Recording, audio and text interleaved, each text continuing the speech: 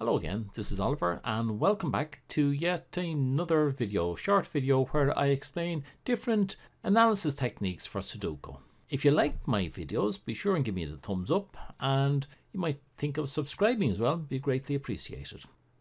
We're going to look at a little bit more complex version of an X-Wing. It's one where if there hadn't been another cell sitting in the way, we would have a perfect X-Wing, but we don't. And we want to find out, well, what can we do when we don't have a perfect X-Wing? Now, if you haven't got the basics of X-Wings, please go back to my previous tutorial 07, which is um, rows and columns doubled, or X-Wings. Have a look at that so that you get the basics right. Now, the X-Wing is when we have either in a row or a column, we've got two occurrences of a particular possible. Now, for example, if we look at row H here, we can see that there's two occurrences of 7. There's also two occurrences of 4, but we're looking for them in different So look at the, the 7s there. And what we do then is we go up along the other rows and see do we have another row with just two 7s. And running our eye up along this, there are loads of 7s, but nothing anyway near it. Now, I also, when I was looking at that, I noticed that we have two eights, an eight here and an eight here.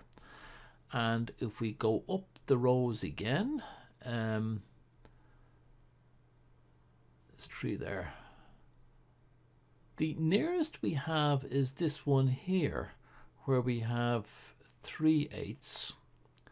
And I also noticed that in this column we have, oh, three eights again. Right, so let's take this one. Row G with our two eighths, we'll take that as being our base. And we'll take this one here, row E, which has these two eighths in, in line, these two eighths in line, and this, if that wasn't there, we would have a perfect X-wing. So this X-wing here, right? And we have this flying the ointment, which is our fin. Now, what happens? There's two possibilities. Either the fin is true or the fin is not true. So if the fin is not there, we then have a perfect X-wing and we can get rid of all the other 8s in column 2 and in column 8 we could get rid of the extra 8 there in J8. So that's if that is not true.